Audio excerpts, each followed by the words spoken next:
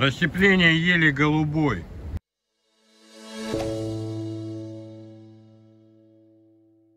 Ели колючий голубой.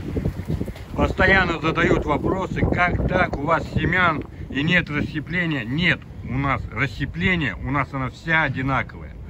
Как можно видеть, вот она, вся ель. Это пятилетка. Сходит она, естественно, зеленая. Сейчас у нас погода, конечно, ужасная. Ветер очень сильный. На улице минус 7. Но ощущается примерно как минус 15. Снега нет. То есть про расщепление. Что двухлетка, что трехлетка, что пятилетка, что четырехлетка. Все она голубая. У нас нет расщепления. Она может быть зеленоватого цвета, при том, как при том, как если пойдет дождь, например, или при выкопке, потому что ух ты, ветер какой.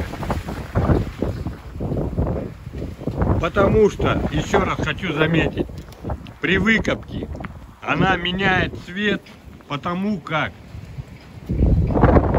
вы ее все равно поранили. Но даже если человеку побледнеть. Поэтому цвет вот зеленый, а там видим, что ну точно не зеленый. Вот зеленый, пожалуйста.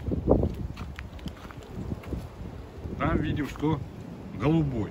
Смотрите, она вся голубая. Мы не перебираем, мы рассаживаем, как есть она, постоянно все одинаковое. Подряд всю рассаживаем, выкапываем и рассаживаем. У нас нет там, мы перебираем или что вы думаете? Нет, никогда этого не делаем. Цвет вы видите. Сходит она, конечно, вся зеленая, потом становится голубая, уже к осени. Весной сходит, осенью она становится довольно-таки голубая однолетка даже. Потом двухлетка также. Весной она может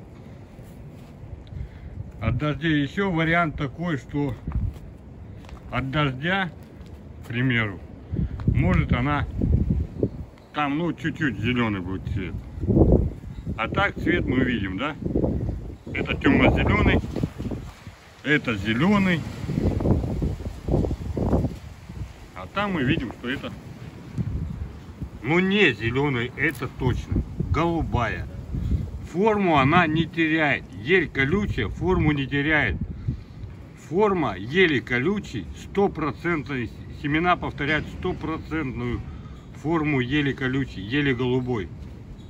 То есть она будет стройная, набитая, красивая ель.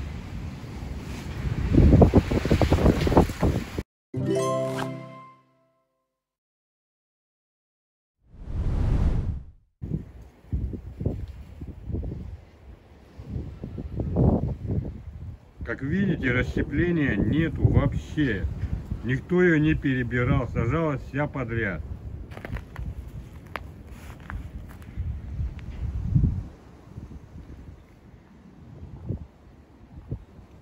Вот видите, цвет тиса зеленый. А здесь у нас получается голубой, правильно? Здесь голубая пятилетка. Здесь у нас сосна Веймутова.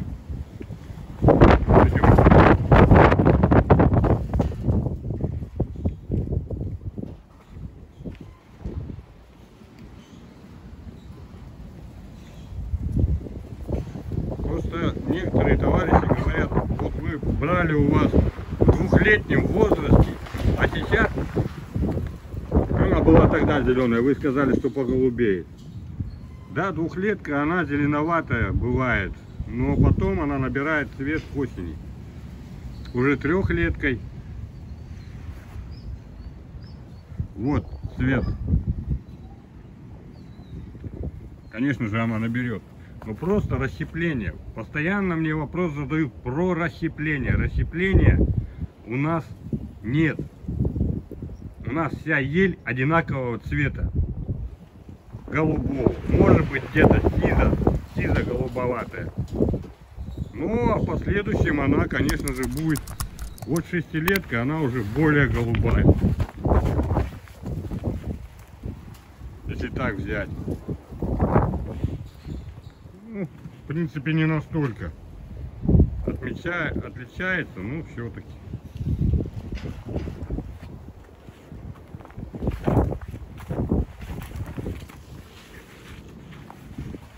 Видите, да?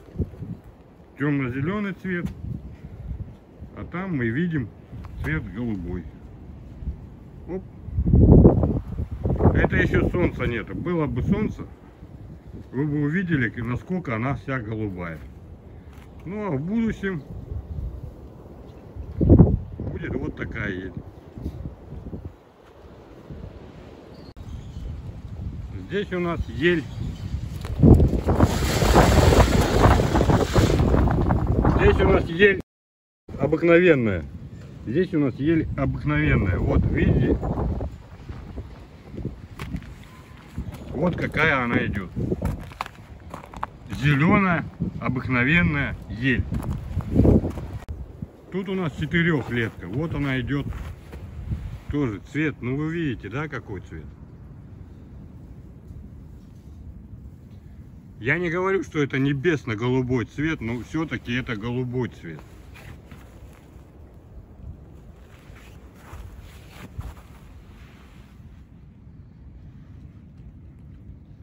Если взять соотношение с зеленым цветом, то есть вот туя, например, зеленый цвет.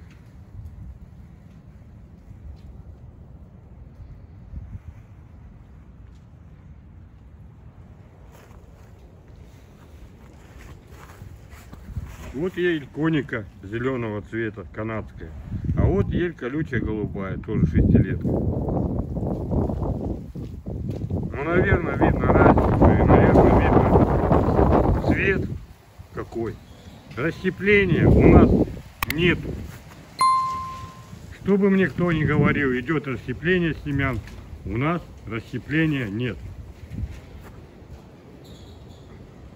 Спасибо. С вами был Евгений Филимонов и питомник Войный дворик.